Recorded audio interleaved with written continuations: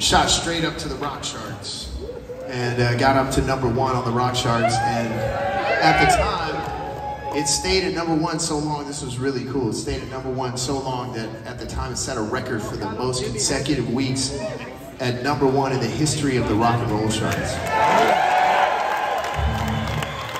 So you know, for a teenager, that was pretty cool. And I was pretty pumped about that. I'll tell you that. But the coolest thing about the song is, is how many people that it touched. And uh, a lot of people have shared very personal stories with me, uh, their life's experience um, that led them or helped you know them to turn to this song. But the, ultimately, what it is is all the people's experiences are different. But ultimately, the common thread is that somebody was suffering at some time, and they listened to this song, and it helped them to feel better. And uh, it's a number a number of different scenarios, all kinds of different things. Uh, a lot of people saying, you know, uh, the loss of a loved one, or the end of a relationship, or even um, some people saying that they were suffering domestic abuse and this song spoke to them. So, kind of, you know, some heavy stuff, you know, kind of the ups and the downs uh, that we all experience going through this thing that we call life one day at a time, right?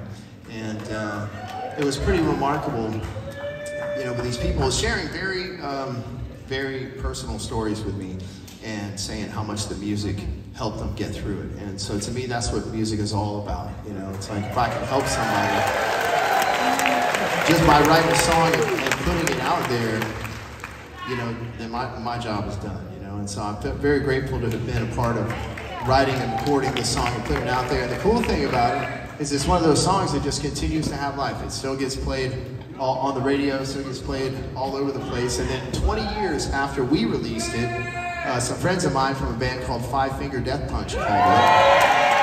And then they said they were going to record a version of Blue on Black for their latest album. And then they put it out, and we had, uh, I went in and played on it, and Brantley Gilbert came in and sang on it, and Brian May from Queen came in and played guitar on it as well. And then they released it, and it went to number one on the rock charts all over again 20 years later. And that was really cool. And what we did is we took a big portion of the proceeds, the money that was generated from you know, getting played on the radio and it being streamed on the internet and stuff, we donated a lot of money to the Gary Sinise Foundation for first responders. Because a lot of us have learned that, you know, we've been given so much, the opportunity to be up here playing music for you guys, and we have a responsibility to give back. So we try and give back whenever we can. And it was good to do some good with that song. So anyways, uh, if you happen to know the words to this one, feel free to sing along. We love hearing you guys sing, so help us out on this one.